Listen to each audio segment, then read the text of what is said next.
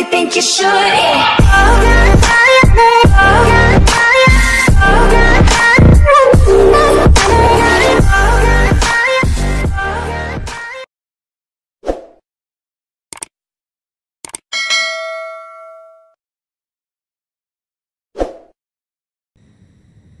We have learnt with profound sorrow and indeed immense sadness of the untimely passing of my dear brother, His Excellency John Pombe Magufuli, President of the United Republic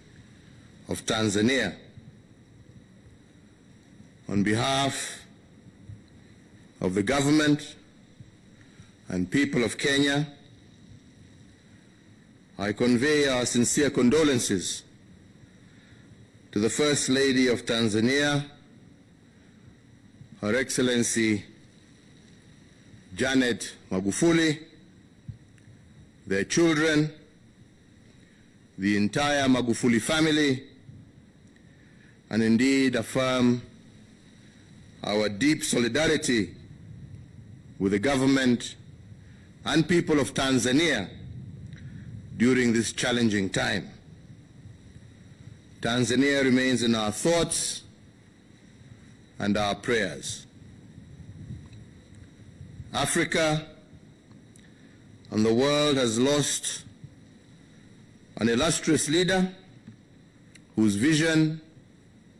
passion, and immense leadership propelled the nation of Tanzania forward and also steered the East African community to closer integration. On the continental stage, the late President Magufuli was a champion of Pan-Africanism. In the passing on of President Magufuli, I have lost a friend, a colleague, and a visionary ally whom I worked closely, particularly on our commitment to forge lasting bonds between Kenya and Tanzania. In honor of the life of His Excellency the late John Pombe Magufuli, and in recognition of his strong legacy, and in solidarity with our brothers and sisters in the United Republic of Tanzania, the wider East African community, and the whole of Africa, who are in deep mourning following the loss of an outstanding son of Africa. Therefore, I, Uhuru Kenyatta, under the authority vested in me as the President of the Republic of Kenya, do hereby order and direct that in testimony to the high esteem in which the people of Kenya hold President John Pombe Magufuli, the Republic of Kenya will observe a seven-day period of national mourning. And also that as a symbol of our enduring respect for the fallen president, as well as our solemn solidarity with the people and the nation of the United Republic of Tanzania, the flag of the East African community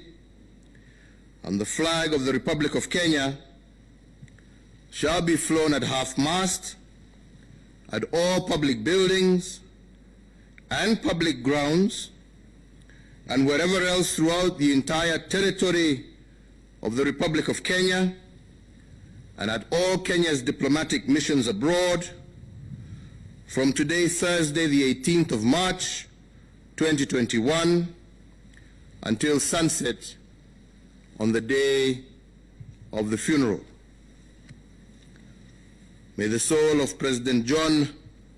Pombe Magufuli rest in eternal peace. Kwa niaba ya serikali na wananchi wa Jamhuri ya Kenya, ningependa kurudia yale nimesema, kutoa rambirambi zetu kwa Mama Janet Magufuli, watoto wake, jamii nzima ya marehemu hayati John Pombe Magufuli na kwa Watanzania wote kwa kuaga kwa rafiki yetu mpendwa wetu Rais John Pombe Magufuli. Nakumbuka kidhati mara nyingi ambapo tumeweza kukutana na kuongea kuhusu maendeleo ya nchi zetu mbili. Nakumbuka haswa safari yake ya kirasmi